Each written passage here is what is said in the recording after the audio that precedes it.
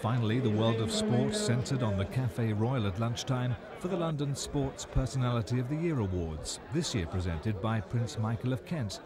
Gary Lineker was there on the threshold of a multi-million pound move to Japan. George Graham and his Arsenal team wondering whether Ian Wright is to face an FA inquiry after alleged incidents at Oldham on Saturday. Champions and former champions rubbed shoulders.